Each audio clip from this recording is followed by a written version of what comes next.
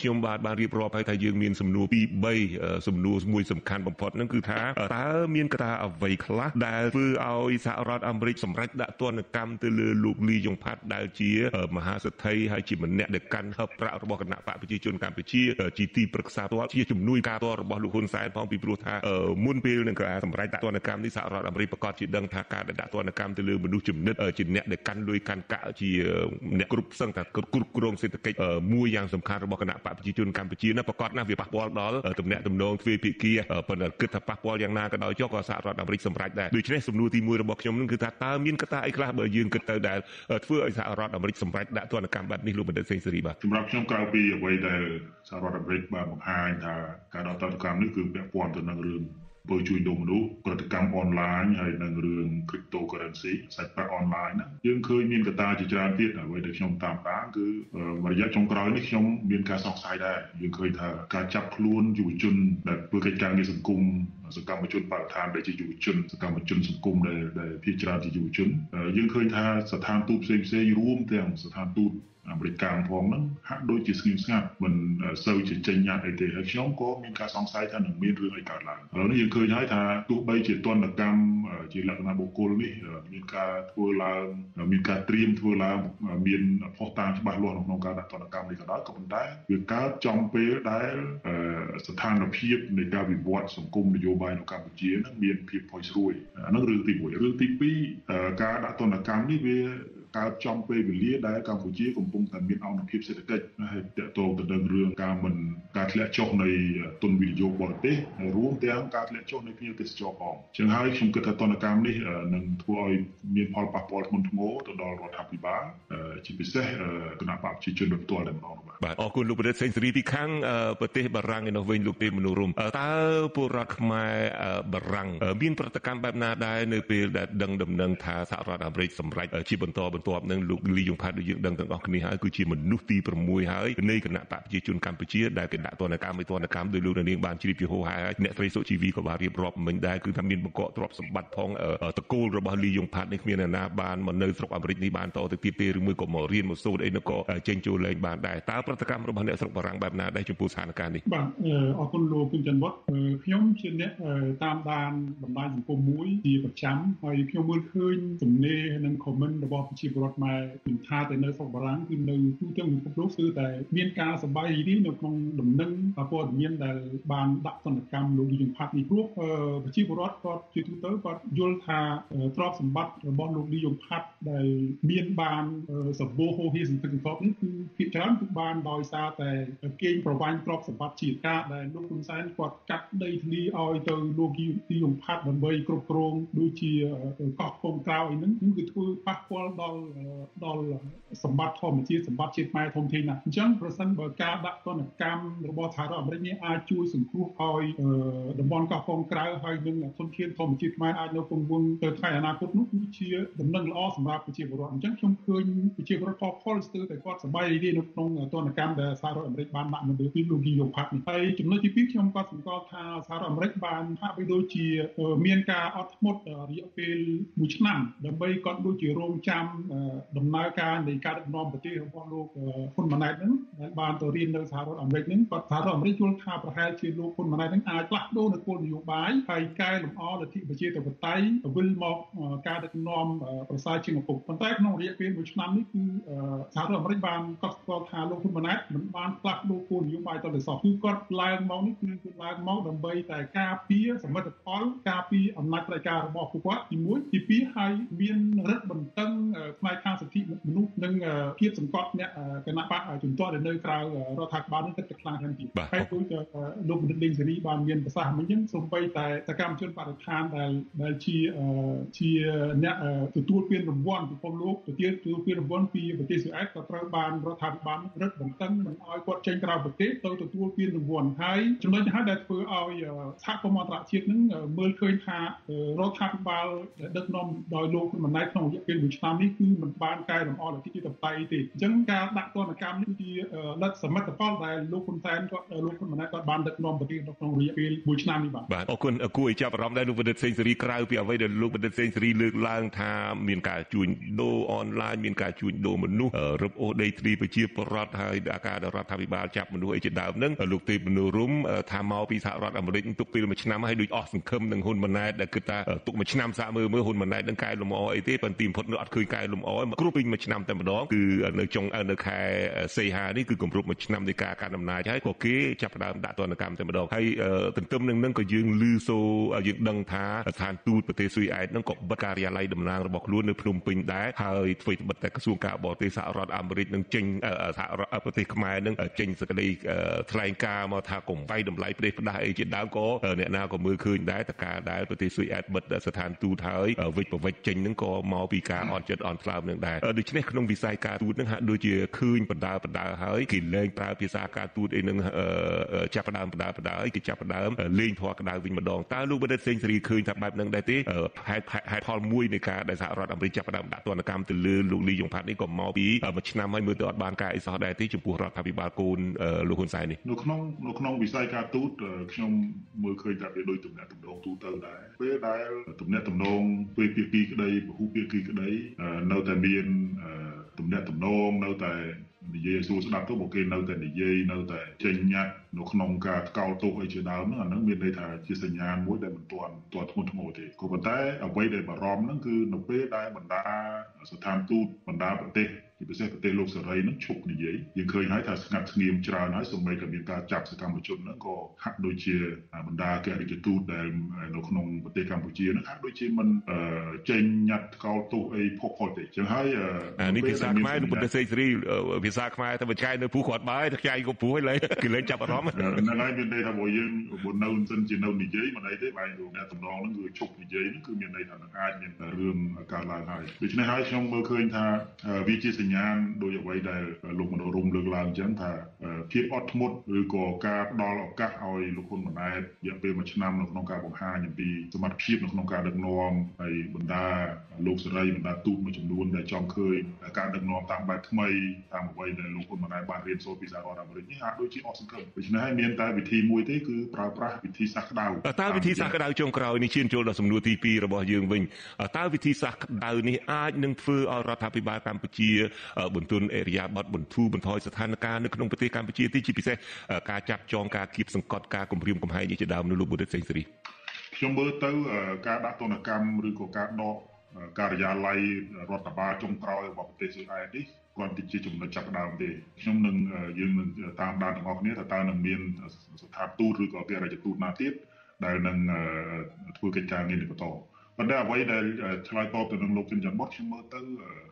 បើយើងផ្អែកទៅលើអ្វីដែល ជាការថ្លែងរបស់អតីតនាយករដ្ឋមន្ត្រីហ៊ុនសែននៅប្រទេសកូរ៉េអំឡុងពេលដែលគាត់ទទួលសញ្ញាបត្របណ្ឌិតកិត្តិយសនៅប្រទេសកូរ៉េហ្នឹងគាត់បង្ហើបដែរថានឹងនឹងជំរុញឲ្យមានការអនុវត្តច្បាប់ ឬក៏ពង្រៀងសេចក្តីព្រាងច្បាប់ថ្មីមួយហ្នឹងដាក់មនុស្សដែលមាននិន្នាការផ្ទុយមនុស្សដែលមាននិន្នាការផ្ទុយហ្នឹងយើងដឹងហើយថាមានរួមទាំងសមាជិកសមាជិកានៃគណៈបព្វប្រឆាំង យុវជនមួយចំនួនដែលគ្រិះគុណរដ្ឋាភិបាលឲ្យក្លាយទៅជាក្រុមភេរវករដូច្នេះបើសិនជាក្នុងករណីសេចក្តីព្រាងច្បាប់នេះនឹងបង្កើតឡើងហ្នឹងគឺគ្រប់គ្នាអ្នកដែលមាននិន្នាការឬក៏មានមតិផ្ទុយពីរដ្ឋាភិបាលហ្នឹងសុទ្ធតែជាក្រុមភេរវករទាំងអស់ក្រុមភេរវករខ្ញុំខ្ញុំសូមកាត់ប្រសាសន៍លោកបណ្ឌិតសេងសេរីចំណុចនេះជាទូទៅលោកនាយករដ្ឋមន្ត្រីហ៊ុនសែនតែងតែប្រព្រឹត្តបែបហ្នឹងយើងដឹងហើយកាលពីសម័យបោះឆ្នោតដែលរៀបចំឡើងដោយអង្គការសហប្រជាជាតិហើយនឹងបោះឆ្នោតអាណត្តិក្រោយមកទៀតហ្នឹងមានការសម្លាប់ច្រើនណាស់ការសម្លាប់ក្រៅប្រព័ន្ធតុលាការការសម្លាប់សមាជិកគណៈបកប្រឆាំងអ្នកកសែតក្រៅប្រព័ន្ធច្បាប់ណាស្រេចតែនឹងចិត្តតែម្ដងហើយការស៊ើបអង្កេតហ្នឹងគឺចង្អុលបង្ហាញថាគឺការកាប់សម្លាប់នេះគឺប្រព្រឹត្តទៅដោយអាញាធរដែលគ្រប់គ្រងដោយរដ្ឋាភិបាលរបស់លោកហ៊ុនសែននេះតែម្ដងបន្ទាប់មកទៀតលោកដូជំហរ លែងសូវសម្លាប់ប្រមាណហើយយកច្បាប់នឹងដើម្បីយកមកប្រើជាឧបករណ៍ចាប់អ្នកទាំងអស់នោះដាក់គុកទៅវិញងាកមករឿងសាច់រឿងបច្ចុប្បន្នអ្វីដែលលោកថ្លែងនៅប្រទេសកូរ៉េខាងត្បូងនេះវិញពីមុនមកណាយើងឮសូរតែដើម្បីក៏ដើម្បីការពារអំណាចនៃក្រមគ្រួសារតកូលហ៊ុនលោកដែលលោកថាដើម្បីការពារសន្តិភាពនោះណាលោកបោកប្រាស់ថាការពារសន្តិភាពនឹងលោកថាបើត្រូវសម្លាប់ក៏សម្លាប់ដែរសម្លាប់មនុស្សតិចតួចដើម្បីការពារមនុស្សច្រើនឬមួយក៏ដើម្បីការពារអំណាចរបស់លោកក៏ប៉ុន្តែទីបំផុតលោកដូជជំហរលោកថានឹងបង្កើតច្បាប់មួយដាក់ពួកនឹងឲ្យទៅជាក្រមភេរវជនដូច្នេះមានន័យថានេះជាការបន្ទូនជំហរដែរទេគាត់បើជាងសម្រាប់ចោលឯប្រហែលថ្ងៃមុនមុនមកកូរ៉េនឹងគាត់ថាសម្រាប់ចោលផងនោះយើងយើងសង្កេតឃើញចេះអានេះបើយើងនិយាយតាមបែបកំ pl ែងថាធ្លាប់តែធ្លាប់តែអ្នកដែលធ្លាប់តែហៅ ត្រូវបានគេមើលឃើញឬក៏បានគេហៅថាជាជនបទជាតិឬក៏ពួកទៀមឥឡូវឡើងតួនាទីថ្មីទៅជាភាវកអញ្ចឹងហើយពាក្យភាវកឬក៏ក្រុមភាវកនេះបើយើងមើលទំនួនពាក្យត្រឹមឧទាមត្រឹមពួកបទជាតិនេះវាគ្រាន់តែជាសត្រូវរបស់រដ្ឋាភិបាលឬរបស់ប្រទេសមួយទេប៉ុន្តែបុព្វភាវកនេះគឺជាសត្រូវរបស់អន្តរជាតិពិភពលោកស្អប់ខ្ពើមដូច្នេះខ្ញុំមើលឃើញថាចំហបែបនេះត្រឡប់ទៅអ្វីដែលលោកចិនចាត់បតបានសួរនោះគឺរដ្ឋាភិបាលមិនខ្ញុំមើលទៅរដ្ឋាភិបាលមិនផ្លាស់ប្ដូរចំហទេ ក៏ប៉ុន្តែយើងយើងចាំសង្កេតបន្តទៀតក្រែងលោមានការផ្លាស់ប្ដូរបើសិនជាក្នុងករណីសេចក្តីព្រាងច្បាប់